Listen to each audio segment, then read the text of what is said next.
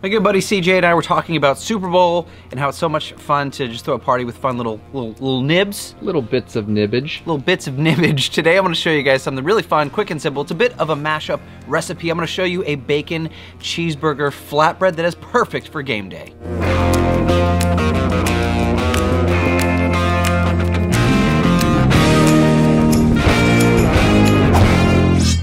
To get started, I am gonna work on my bacon first. I've had my uh, Blackstone preheating at low. I'm gonna bring it up to medium, maybe medium low. We wanna take our time with our bacon. I'm using thick cut bacon. I wanna kinda go low and slow because we want crispy bacon and we want all of that beautiful rendered bacon fat. As Ryan Hoagland, by the way, it's called Hoagland, not Hoogland? Hoagland. Auglin. Big fan of yours. Uh, Hoagland said, I call them little friendly fat. Or he made some Bob Ross comment. Huh. We want beautiful bacon, is what I'm saying. Oh. Hey guy. How you oh, that? oh how you right, doing? Right into Frazier territory. How you doing? That's that one's six feet under the ground, bro. nah, that was great. While that bacon is cooking, we're gonna go ahead and take some sweet yellow onion and dice it up nice and small. Onions and beef together are just some kind of crazy magic mixed into the bacon fat. Unbelievable. Speaking of bacon fat, I think our bacon looks done. Little, little extra done, Huh. if you ask me. It's, but you know uh, what? That's fine. It's fine. CJ's here. It's it's an appropriate. My my skills rub off on him.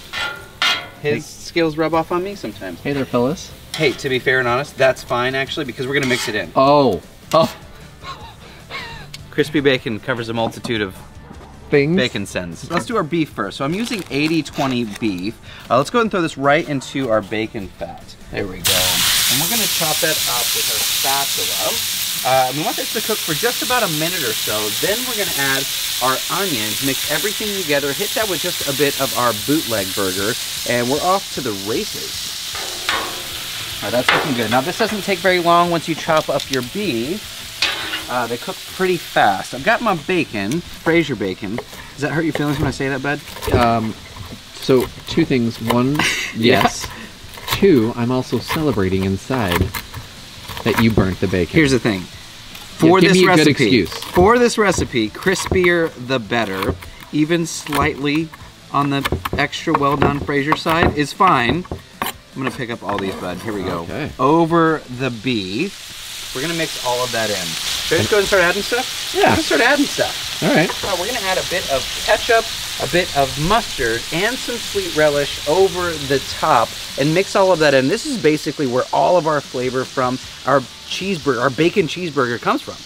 Now once you're all mixed in, we can go ahead and pull it to the cool side of our Blackstone. 'Cause Now it's time to start working on our flatbread. These little Stonefire naan-bread, these things are awesome. Uh, you've seen CJ use these on his show a few times. Actually, almost almost burnt one the other day that you saved for me. Thank you. You're welcome. Uh, two or one?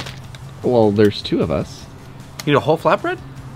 okay. Okay. All right, so I'm gonna go down. We can bring some of that bacon fat back if we want. Uh, sometimes if your Blackstone, like mine, isn't quite perfectly even, bring some of that bacon fat. I mean, we have it. We might as well use it. So let's give it a nice little rub. We're gonna toast our presentation side first. Now, while that's toasting, we can make a fun little drizzle sauce. Drizzle sauce? Drizzle sauce. drizzle sauce. A sauce we drizzle. So essentially, Did you learn that at the CIA? Mm-hmm. I did. Excellent. So we're gonna go mayo, sriracha. That little bit of heat is gonna go a long way with that sweet relish, and some ketchup.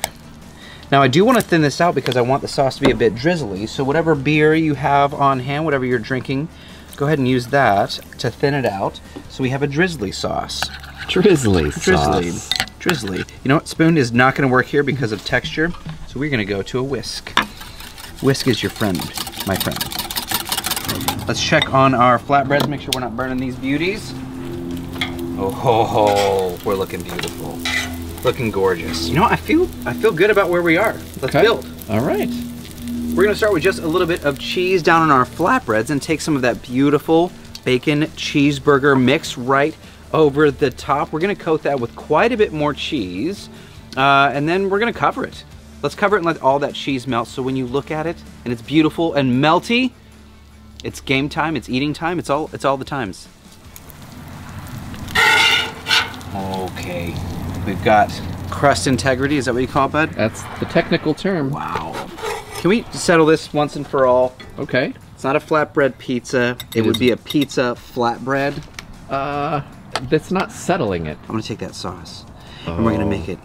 We're gonna make it magical. You're gonna make it we're a flatbread ha pizza. Happy little sauce. Just happy little happy sauce. Happy little sauce. Come on, come on, buddy. Dude. Are you ready for this? Yes. Should but we? You... no, no, no, no, no, no, no, no. What? I'm gonna cut it. It really does need one more thing. I'm not post dusting Oh, on this. you I don't most need to post certainly dust. are. I need to taste it before. Let me taste it, and if it needs a post dust, then I'll post dust.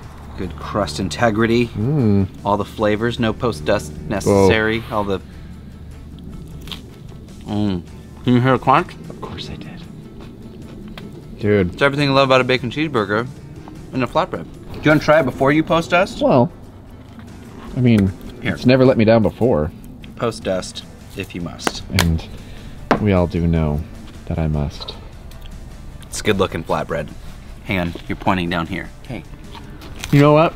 It would have been good without the dust, but the post dust is a must. Uh-huh. Just to play fair. We'll post dust of that McLeod burger. Dude, plus it's just visually more Okay. exciting. And if you're gonna go through all the trouble to make something taste beautiful, might as well look beautiful. You're starting to sound like me. Now I'm starting to sound like you. What's hap? Whoa. If you haven't watched CJ's show on our channel, be sure to go and do that. Click the subscribe button down below and the little bell icon. Catch Todd's show, Betty's show, Bruce's show, Destination Delicious. But this is Cook Eat Repeat, where we help you become a better cook one recipe at a time. I was looking for something else to post dust or burn. I don't know. Been hanging out with CJ too long. Thank you guys so much for hanging out. I'm your host, Chef Nathan Lippy, and I'll see you all in the next video. You're welcome.